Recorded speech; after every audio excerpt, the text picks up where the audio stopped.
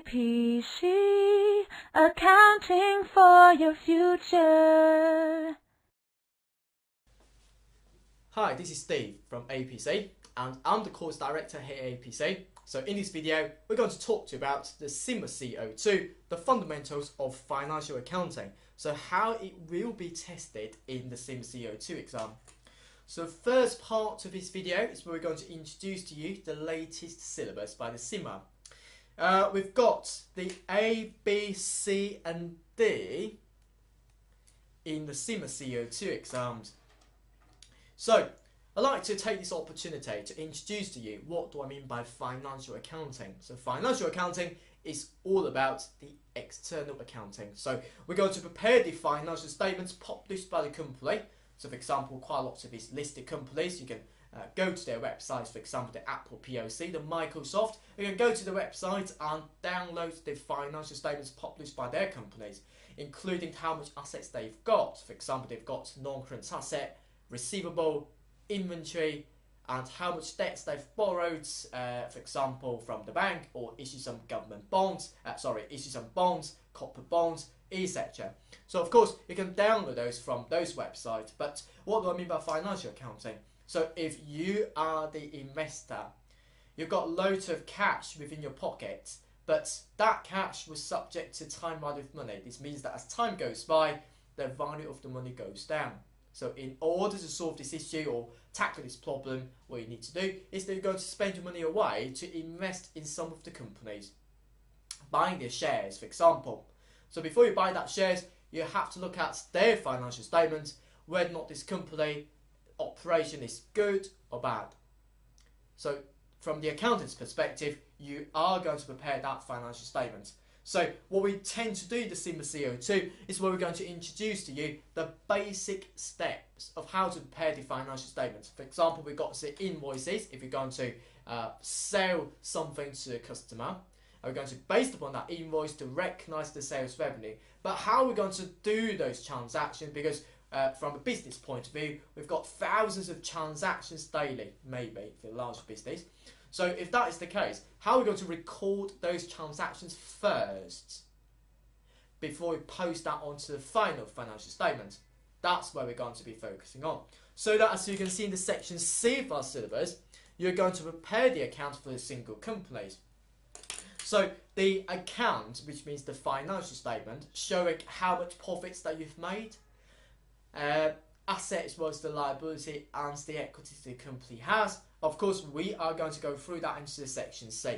Also within the section D, is talked about the controlling the accounting system. What does that actually mean is, if we find some of the errors, mistakes in our account, how are we going to deal with that?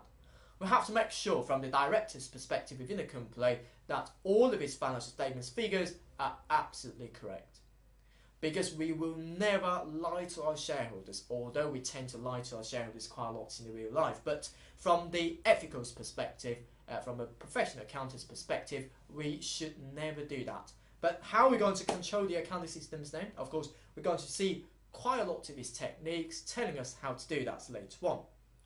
Also, we're going to look at quite a few accounting standards related to inventory, related to property, plant equipment.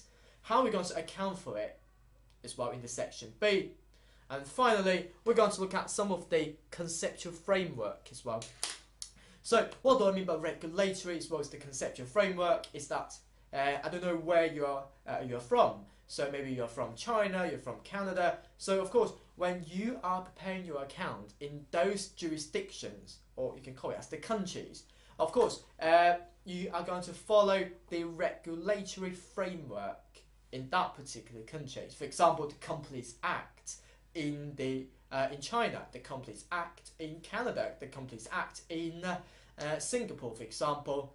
But uh, from the practical perspective, uh, the accounting standards in those countries nowadays uh, are tend to be very very similar to the international financial reporting standards, which is the IFRS. So that we are studying the IFRS in the CIMA C02, but when preparing the account, you have to make sure that which country you're in so you can uh, understand is uh, framework in those uh, uh, countries. Also, you're going to talk about the conceptual framework as well. I mean, the accounting uh, is just to be an art. So, um, I mean, for example, for depreciation expenses related to machinery, you can either put it into the cost of sales or you can put it into the administration expenses. It's entirely up to you. So uh, you have to look at your business environment. You have to business your, you have to look at your industry nature, so you can decide where to put those items onto the financial statement. So uh, by whatever you want, uh, the conceptual framework just talks about. You can do everything you like uh, if you are fulfilling the requirements in the framework. So of course we're going to detail that when we come to it. Okay, so that's what the CIMA C02 is all about. And the next part of this video is we're going to look at how the CIMA C02 may be assessed by your examiner. You're given two hours, uh, is sitting in front of a computer, and you're given 50 compulsory questions as well, and each of them were worth two marks. And the passing mark for the CIMA C02 is to be 50 marks. Which means that if you, uh, I mean, if you only have got 48 marks, of course you will fail the exam. If you've got 52 or maybe 70, of course you can pass this exam. So that's what the CIMA C02 is all about. And all of these questions are uh, computer-based questions, are objective test questions, in other words. Of course, includes the multiple choice questions where you're given A, B, C, and D, and you're going to choose uh, A or B or C or D uh, from those four options, or you're going to choose two out of four as well. It's entirely up to your computer. Also, you're given some of the drop-down uh, questions as well. You're given some of the yes and no type of question. You're given some of the numbers inches questions, etc. Of course, uh, those will be uh, detailed in our due course. The third part of this video is we're going to look at how APC can help in order to help with your exams in the CIMA C02. We will provide you with all of those HD quality videos going through the whole syllabus and together with our expert videos telling you our exam uh, I mean techniques, uh, strategies, etc. Of course, you can rely on our resources to help with your exams in the CIMA C02, together with our printable study note. Uh, within the printable study notes, not only are you going to go through those knowledge, but also there will be lots of exercises in there. Uh, you don't have to uh, buy extra study tests as well as the revision kit from the outside market, you can rely on our study materials to pass this exam. If you've got any questions, problems during your study, email our tutor so that we will provide you provide you with the answers uh, as well because we uh, have provided the tutor support. And finally, we've got the pass guarantee service. This means that if you fail the exam, don't worry, you can enroll in the course again free of charge until you pass it. Because we are sure that with our material, you will pass the CIMA C02 relatively easily. So, happy studying and looking forward to seeing you in the actual class. APC, accounting for your future.